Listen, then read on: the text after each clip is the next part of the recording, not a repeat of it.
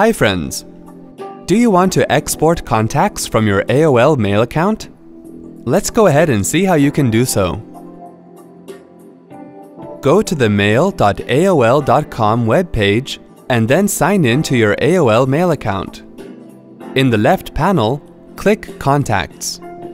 Above your list of contacts, click the Tools drop-down menu and click on Export. Select the file type by clicking the radio button next to it and then click on Export. When you click on Export, a file called Contacts is downloaded to your computer depending on the format you selected. See? That wasn't hard at all. Thanks for watching.